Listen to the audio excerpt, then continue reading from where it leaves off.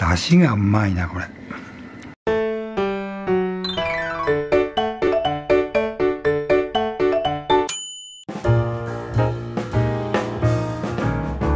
いらっしゃいということで今日はうどんを作ります。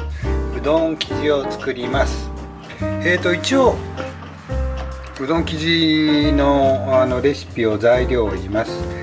えーとですね強力粉 120g と薄力粉 120g これは3人ぐらい前3人前ぐらいですね。えーと塩が 6g でぬるま湯に溶かしておくと。溶かしておくって溶かしておかなかったんで脇で塩 6g 入れて溶かしました、えー、それから水がね 120ml35 から40度 C です。これ30 35度ぐらいです。ということは水と強力粉と薄力粉分量は同じですね。でそれに 6g、えー、を加えてそのうどんの生地を作ります。それじゃあいきます。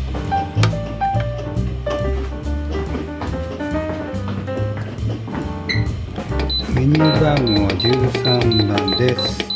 一応今日はタイリス大山さんで、えー、こねます。スタート。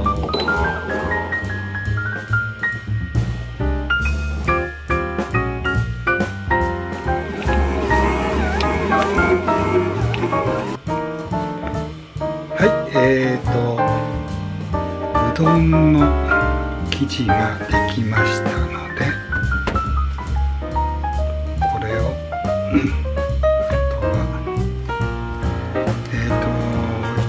間からえっ、と1日ぐらい休ませるそうですのでラップをかけて休ませたいと思います。それでは明日の朝まで。うどんうどんの生地って結局工房も何にも入らないから休ませるっていうだけかな、まあ、小麦粉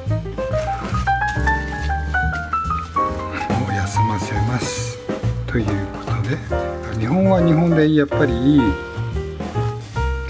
あの文化で面白いもの食べ物をいろんな形でやっぱり作ってるんですね。ということで休ませます。はい皆さんこんにちは。それでは昨日えっ、ー、と仕込みましたうどんのえー、なんていうのこれ。うどんのなんだろう。うどんの素でやっていきます。結構硬いですねこれう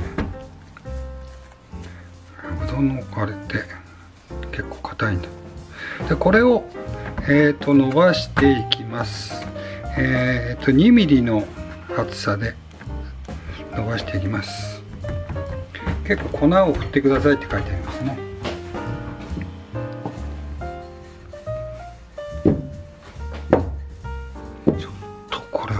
難しいな。うどん屋さんに修行しに来た前ですね授業やるのに中国で、えーと、綿あめ屋さんをやったらいいんじゃないかっていうことで綿あめ屋さんのね敵屋のねおっさんにねお願いしてね教えてもらったことあるんですよ。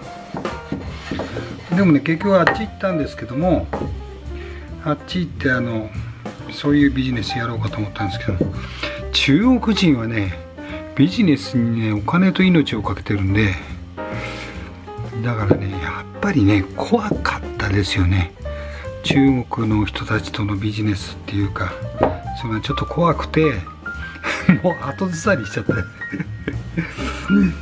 なんかねで私の知り合いであの中国でビジネスやってる方が、まあ、たまたま知り合いになったんですけどもその人から言わせるとね懐に入ればね中国人の懐に入ればねあのお金が儲かりますせって言うとねみんなやっぱり命を懸けてるんだってその分かってくれるとやっぱりすごいらしいですよ。やっぱり中国の人たちって。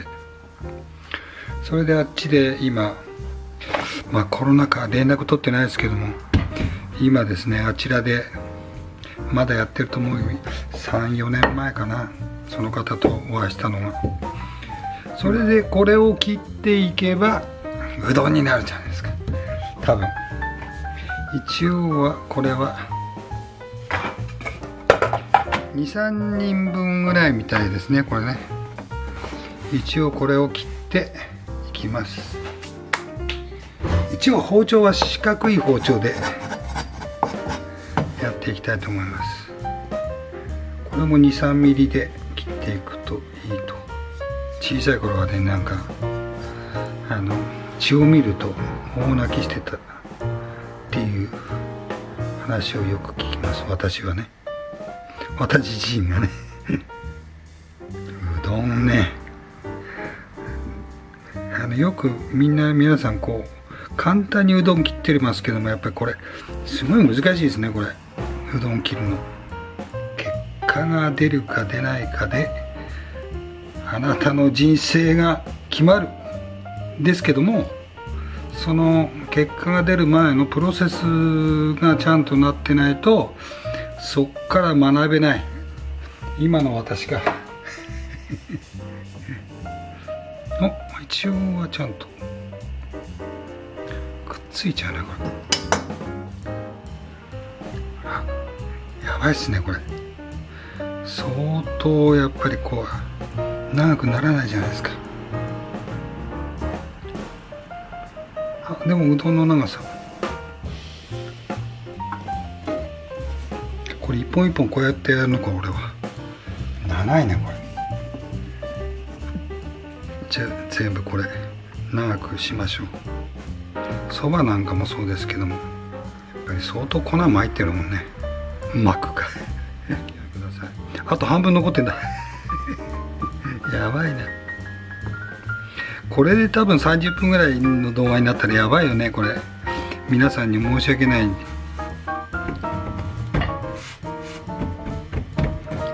これくらい巻いてダメなのか。これで大丈夫なのか。これくらいまぶせば大丈夫だと思いますよね。やっぱり職人さんはすごいですよね切れるナイフじゃないとやばいかもしれないな。やっぱり相当粉巻かないと。でもバラバラにならないな。これお湯に入れたらバラバラになるのかなこれ。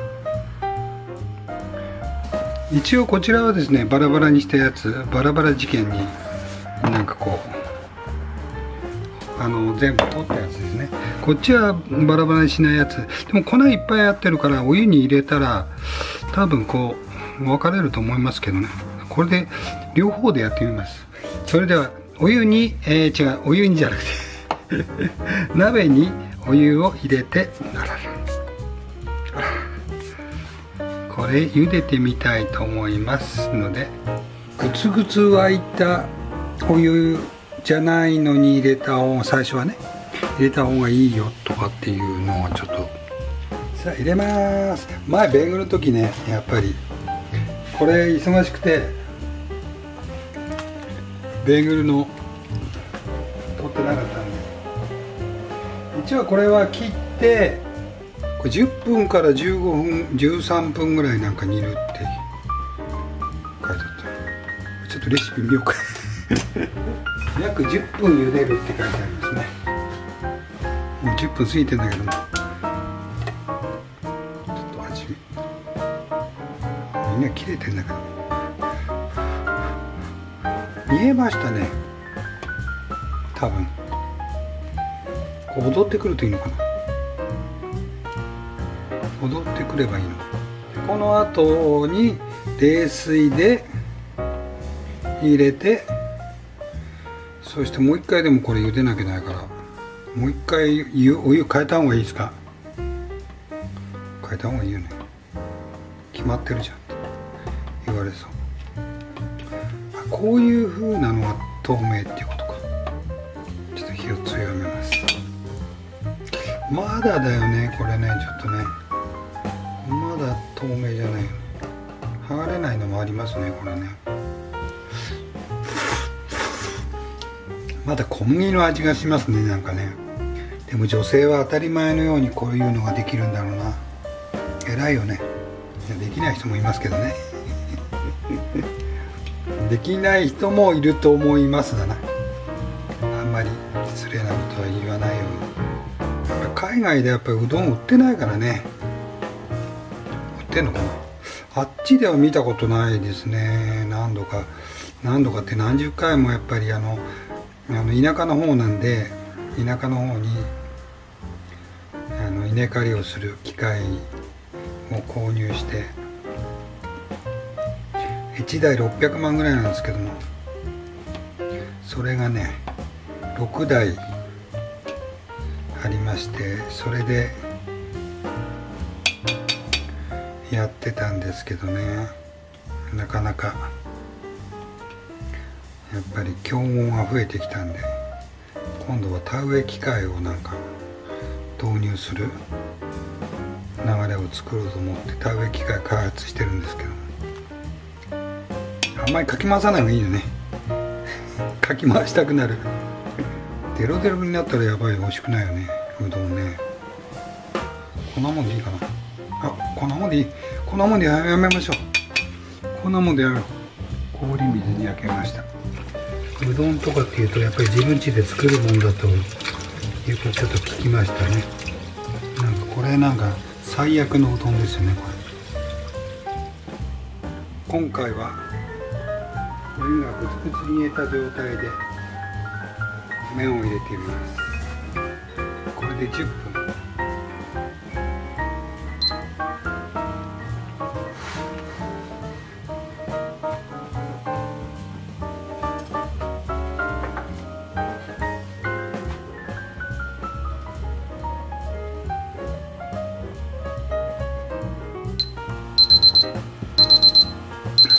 はい茹で上がりました。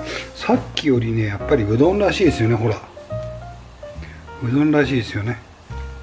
さあこれを揚げていきます。ちょっと食べてみましたけどもうーんもう少しちょっと芯がちょっとあるかな。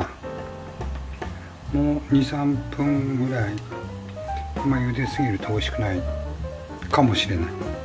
全然わかんない。でもうどんらしいですよねやっぱりほら。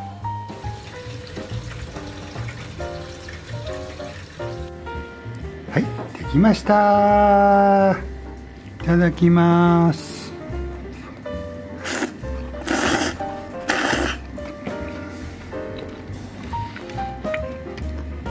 うどんは美味しいね。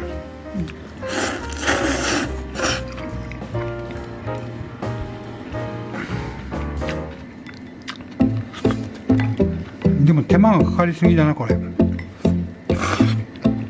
ということで今日はうどんでした。ごちそうさまでした。ってまだ食べてますけど。でも出汁がうまいなこれ。